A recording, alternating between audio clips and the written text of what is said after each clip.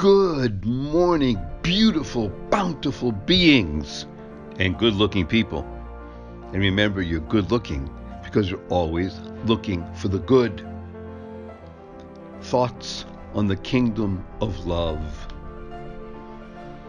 Do what you can with what you have from where you are. The true person of integrity has no trace of selfishness, no obstruction by egotism. On the contrary, he or she feels that they have been granted life only for this purpose to use every breath for the energetic fulfillment of the good.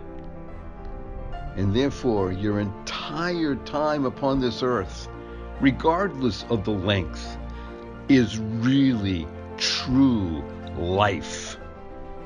Do what you can with what you have from where you are. Go forth, be a blessing, spread the seeds of joy, happiness, peace, and love.